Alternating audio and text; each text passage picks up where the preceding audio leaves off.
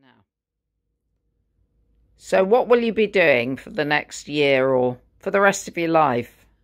Well, I've got a long way to go because I have been told by my doctor, who's a wonderful man, but seems to know what he's talking about, and he's always said that I'll go to over a hundred.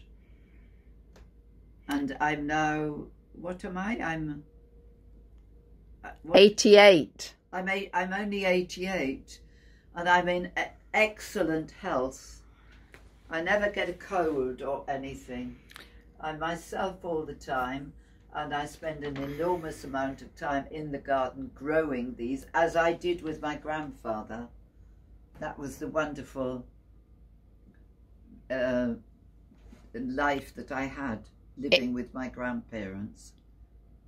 And what would you say to people who are going through this lock-in situation during this the coronavirus that we're in at the moment to give them heart? You just accept it. I mean, I've always accepted whatever was and think it'll be all right, Moll. And if this is what you have to do, that is what you have to do. I'm not one for kicking the rules.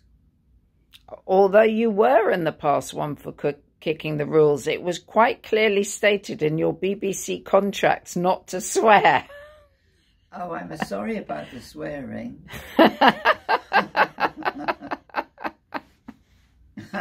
was about to swear then, so I thought, no, don't do it.